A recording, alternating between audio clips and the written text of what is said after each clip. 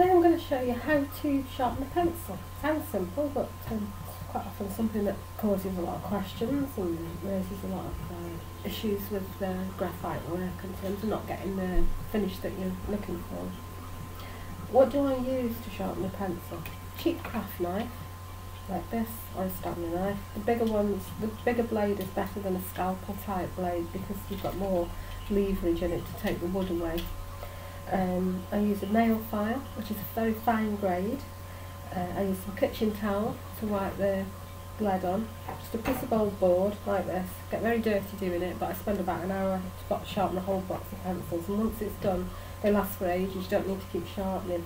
When you when your pencils arrive, when you get a new pencil, they look something like this. Now, if you just use a, a handheld sharpener or a desk sharpener, um, you're going to end up with a point like that. It's really not going to last you any time. You're always going to be sharpening and you're not going to get the fineness of finish that you need to get with, with botanical work. So it's worth spending the time to sharpen your pencils properly and um, there's no there's, there's no quick way of doing it but it probably takes about five minutes to sharpen each pencil so it's not a huge amount of time as I say once they're done they last for ages. So how do I start? Make sure the knife is sharp um, and take start by taking away the wood all around the pencil. Long strokes and expose the graphite. I take it away, probably exposing it around about an inch or so. The harder pencils are easier to sharpen than softer pencils, but they take a bit longer. Once I've taken the lead away, sweep that away. I'm doing it on a board, but you can do it in a pot. I just do them all on a board on the move. Sweep them up. Once I take my lead away, um, the wood away, I start to whittle away at the lead. Like so. Don't press on too hard or you'll break it these harder pencils, this one is an F, so it's not it's actually not too bad this one, but a hard pencil would take longer than a soft pencil to sharpen because it's harder. As you, as you whittle away at it using the knife, um, rotate it. Just keep rotating it and that make sure it's taken away evenly. Sometimes the soft ones go a bit wonky, but you can sort that out, it doesn't really matter.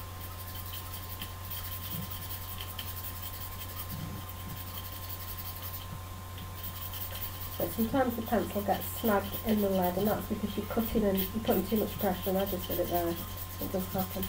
Um, if you've got the right angle on the knife, it just takes it away evenly.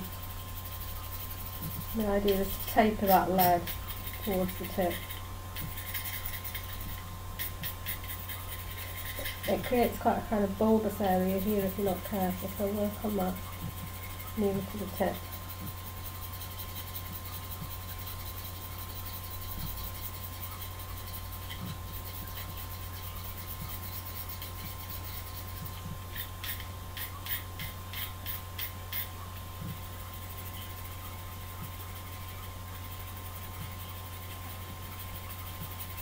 Keeping the same motion and rotating the pencil slowly. So try and take away as much as you can with the knife and then once you've finished with the knife you move on to the nail file. You use fine grade sandpaper but nail files have got a better, they're finer I find and easier to use. And the other reason I'm using it is because I like to file them from above, not underneath. I'll show you that in a minute.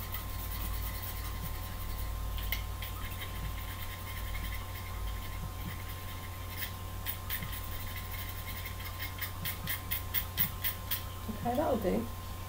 Um, so take my nail file and work from above in a circular motion, again rotating the pencil. I'm trying to do this slower than I normally do it, so you can see. And don't apply too much pressure, just enough to take away, you can see the, the graphite falling away beneath. I'm going to taper it towards that tip so it's nice and smooth. I'm going to rotate the pencil all the time.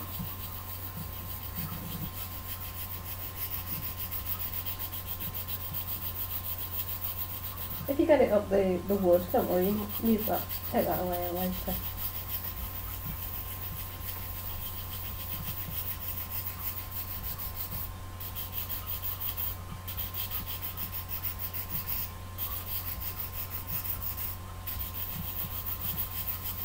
This is better than doing this. It gives you more, a little bit more even pressure on it. You get smoother tapered lead.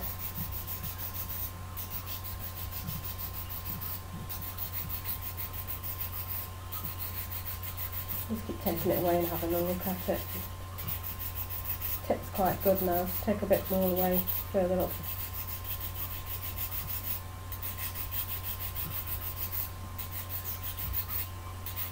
That'll do really.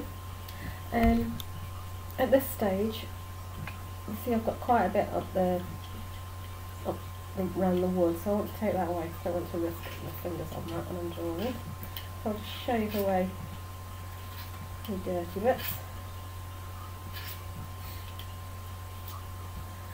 And then I'll just give it a, a buff on here. It's not necessary all the time, but this is what I use. I keep this on my desk when I'm drawing, and I just tweak the tip on it.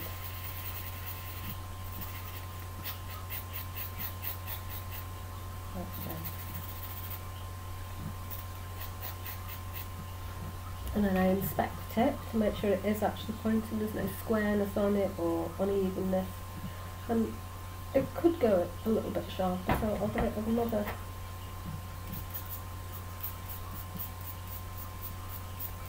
very fine tweak. Might take it on top for the very very tip and just run it along like so, pulling up against it. Now, very important, when you have finished, wipe it on kitchen towel to get rid of all the loose graphite. One of the most common problems I hear is about bits and graphite or pencils faulty or whatever.